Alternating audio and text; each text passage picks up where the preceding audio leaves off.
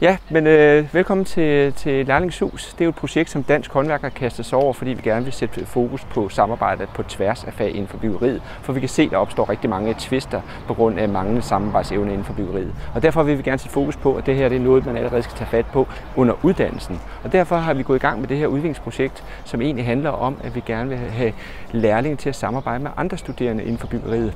Og som du kan se rundt her, så går der rigtig mange arkitektstuderende rundt, fordi i dag skal de nemlig præsenteres for de skitseforslag, som de har lavet. Deres forslag til, hvordan det her øh, hus, nedslidte hus, kan forandres, forvandles til et smukt undervisningshus til folkeskoleelever, som kan komme her og inspirere, og blive inspireret af at blive håndværkere.